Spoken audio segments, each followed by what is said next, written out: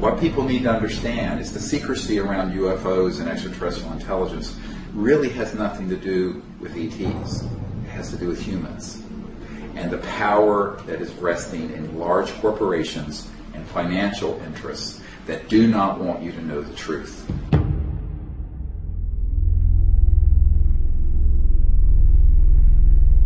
And here it is.